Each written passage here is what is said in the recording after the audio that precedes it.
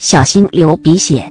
杨秀慧蜘蛛精上身长腿挑逗大帅张卫健经典台词神回复。内附影片。根据《东方日报》报道，《大帅哥》播出后成为热话，因剧情简单、节奏明快，加上男主角大帅哥张卫健独有的演绎方法，引起追剧热潮。